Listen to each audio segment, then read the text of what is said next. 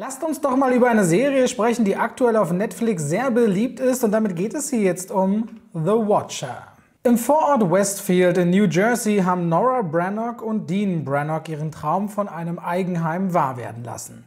Das kostete sie aber wirklich alles, was sie besaßen, denn für über drei Millionen Dollar haben sie ein großes, charakteristisches sowie wirklich sehr schönes Haus samt beeindruckendem Grundstück erworben. Zunächst scheint auch alles gut zu sein, aber es dauert nicht lange, bis merkwürdige Dinge geschehen. Auf einmal steht ein geistig verwirrter Mann in der Küche, die Nachbarn betreten unerlaubtes Grundstück Grundstück und werden aggressiv, wenn man sie darauf anspricht. Im Country Club scheint ebenfalls die Stimmung zu kippen und plötzlich tauchen sehr merkwürdige Briefe auf, die von einer Person stammen, die sich der Watcher nennt. Mit einer Ode an das Haus beschreibt der Watcher darin seine Liebe zum neuen Zuhause der Brannocks, dass er sie beobachten werde und sie keine Ahnung hätten, wer er sei. Dass dabei kein schönes Familiengefühl mehr aufkommen kann, ist klar und langsam, aber sicher zieht sich die Schlinge des Wahnsinns zusammen. The Watcher hat sieben Episoden, die zwischen 44 und 52 Minuten lang sind, hat eine Netflix-Altersfreigabeempfehlung von 16 Jahren und ist dort seit dem 13. Oktober 2022 anschaubar. Ist Mystery, Thriller, Crime, Schrägstrich, True Crime, denn diese Serie beruht auf den wahren Erlebnissen von Derek und Mariah Brothers, die drei Tage nachdem sie in ihr Haus gezogen sind, den ersten Brief bekommen haben im Jahr 2014. Im Gegensatz zu Dama wurden sie aber vorab informiert und konnten auch punktuell etwas Einfluss nehmen auf die Art und Weise, wie sie dargestellt werden, beziehungsweise die Geschichte hier aufgezogen wird. Und ist wie gesagt auf Netflix anschaubar. The Watcher ist so eine typische Serie, oder was heißt typisch? So eine, wo man sich fragt, okay, wer ist es gewesen? Who done it? Denn sobald die Brannocks einziehen und dieses Haus ist wirklich schön, hat einen tollen Charakter und ein schönes Ambiente, sicherlich eine ganz eigene Geschichte, ist es vor allem das Verhalten der Nachbarn ringsherum, die einen Anspruch darauf hegen, dieses Grundstück, egal wer der neue Besitzer ist, so zu verwenden, wie man es vorher benutzt hat und sei es auch nur der Rucola, der durch den Zaun hinüberwächst auf die andere Seite des Grundstücks, weil man es schon viele Jahrzehnte und auch bei anderen Besitzern so gemacht hat,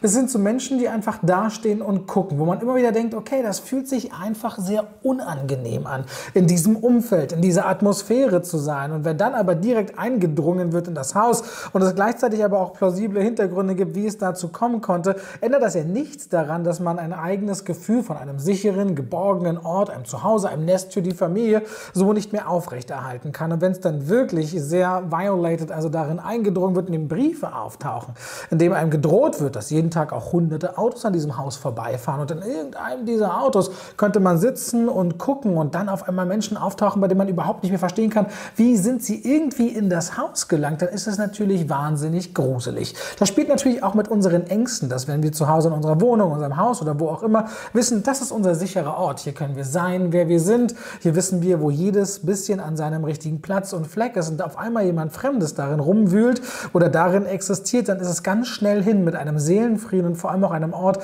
in dem man zur Ruhe kommt, in dem man sich erholen kann, in dem man lieben und geliebt werden kann, in dem man schlichtweg sein Zuhause hat. Und auf diesem Entziehen dieses Gefühls beruht The Watcher ein Stück weit. Und dann die Frage bei all diesen Motiven, die aufgemacht wird, wer steckt denn nun eigentlich dahinter? Dass das Ganze auch noch eine wahre Basis hat, ist natürlich genauso grausig und niemand möchte natürlich so etwas erleben. Und so schaut sich The Watcher eben über dieser mysteriösen Stimmung die ganze Zeit. Zwar relativ behäbig, weil es schon irgendwie dauert, bis in dieser Handlung wirklich mal was passiert. Und wir verfolgen den einen Pfad, dann verfolgen wir den nächsten Pfad in dieser neuen Ryan Murphy-Serie. Und am Ende ist es nicht unbedingt befriedigend, wo wir angelangen.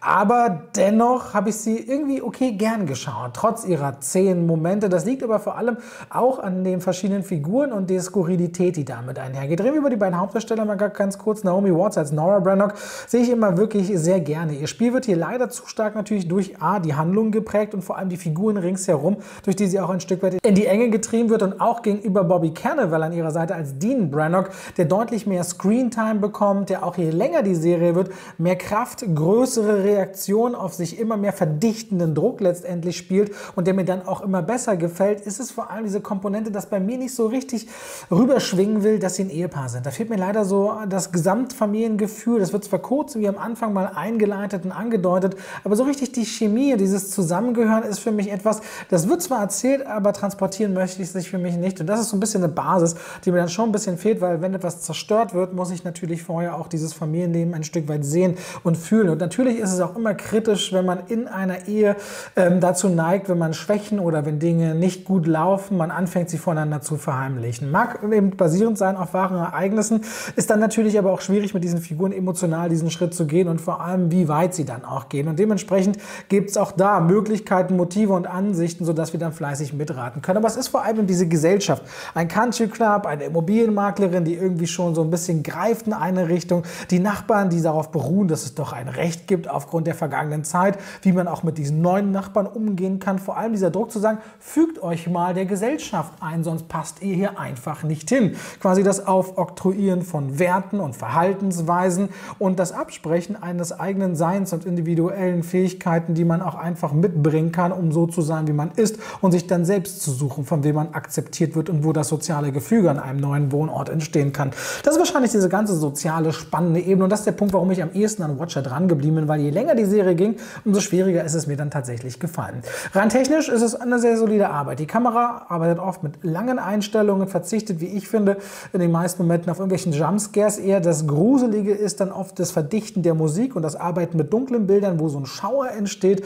Aber im Großen und Ganzen ist es dann doch eher auf Drama gehalten. Viele Reaktionen, lange Einstellungen, sich die Zeit zu nehmen, was in den Gesichtern der Menschen passiert. Somit finde ich es ähm, erwartbar, aber solide und damit auch eine fokussierte Kameraführung. Das Szenenbild ist diese Kleinstadt, Westfield, das Haus im Besonderen oder auch ein Ort, an dem man sich trifft, in einem Diner um, oder bei Behörden, um in diesem Fall voranzukommen oder auch Hilfe von außen zu suchen, ist die Musik, außer wenn sie sich mal verdichtet, auch relativ dosiert gewählt. Also die ist mir immer positiv aufgefallen, dass ich dachte, okay, die dudelt mir hier nicht irgendwas rein, was ich nicht verstehe, was ich nicht sehe in der Serie, sondern hangelt sich schon noch dem entlang, was ich da fühlen soll und durchaus auch fühlen kann. Kostüm und Make-up soweit den Figuren angepasst und nichts, dass wir jetzt großartig aufarbeiten müssen und die Effekte wirken auch soweit handgemacht. Sage ich am Ende, ich mag bei The Watcher die Stimmung, ich mag die Figuren und die Ansätze und die Motive und dass ich mich wirklich frage oder mitrate, okay, wer ist es jetzt hier gewesen? Zu welchem Punkt man dann kommt, kann natürlich auch überraschend sein. Wer The Watcher gesehen hat, weiß, was ich an der Stelle meine.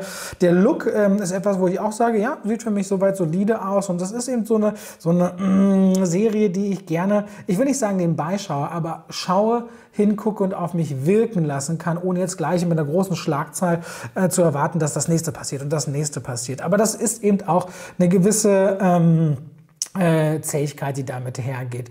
Und dadurch wirkt die Serie aber auch, weil sie dann, wenn sie mal neue Ansätze und Blickwinkel wählt und dann immer wieder sich dann auch dreht, äh, wirkt sie punktuell auch zu konstruiert, um eben diese Fährten klar aufzumachen. Und das spürt man. Und da geht ja auch hinten raus so ein bisschen die Puste aus. Nichtsdestotrotz, ich finde sie okay, bis gut. Das heißt bei mir 6,5 von 10 möglichen Punkten insgesamt für The Watcher. Und das ist oft so ein Bereich bei Serien, wo es dann weder zu schlecht noch zu gut ist. Aber das ist meist am schwierigsten herauszuarbeiten, so geht es mir zumindest immer, was genau ist dann eigentlich jetzt das Problem Problem. Es ist nicht das das Problem äh, an dieser Serie, aber es sind vielmehr auch so die klaren Punkte, wo ich sage, deswegen musst du The Watcher schauen. Ganz, ganz dringend.